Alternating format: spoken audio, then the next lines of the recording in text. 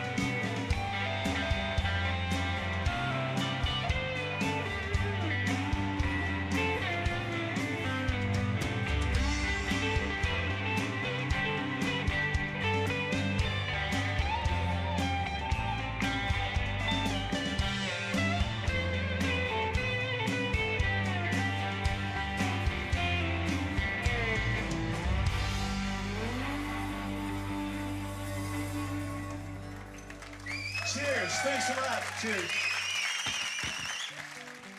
Feeling slightly underdressed at the moment. I get to admit, you get sharp suits. We got. uh, You got good hair. that counts as More than I can say.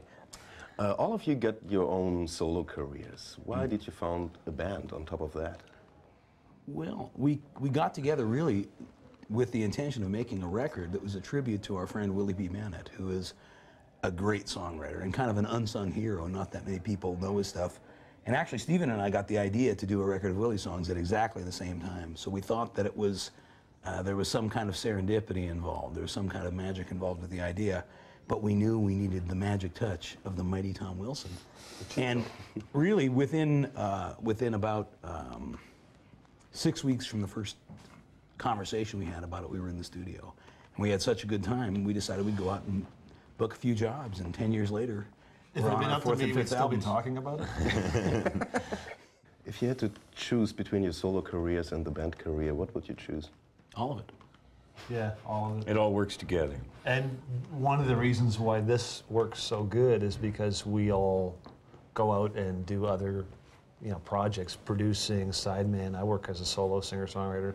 Tom does a variety of things, different projects, and so when we come together, you gotta you gotta sort of got some of that out of your system.